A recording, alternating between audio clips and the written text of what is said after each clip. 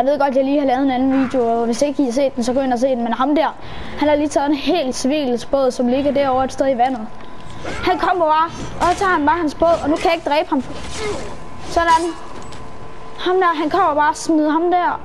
Et eller andet sted. I hvert fald en eller anden civil, som jeg tror svømmer væk nu. Ham kommer han bare og smider over bord og tager hans båd. Det er mega